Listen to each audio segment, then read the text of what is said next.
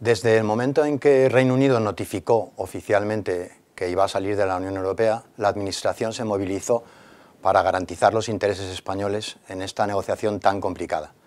Eh, se ha trabajado mucho durante dos años y en el acuerdo de retirada, en esas 585 páginas que deben de gobernar la salida del Reino Unido, esos intereses españoles eh, están eh, plenamente garantizados y especialmente la prioridad para España que han sido los derechos de los ciudadanos y de los residentes, sin olvidar tampoco, por supuesto, a las empresas.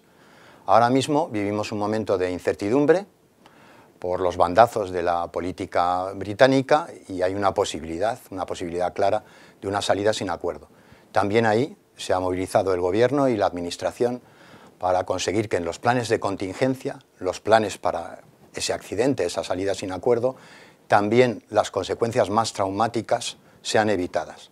tanto para la Unión Europea en general como especialmente, por supuesto, para nuestro país, para nuestros ciudadanos y residentes de nuevo y para nuestras empresas. No se puede garantizar que no haya consecuencias negativas, algunas las habrá si sucede esto, pero eh, estamos bastante tranquilos que en el caso de España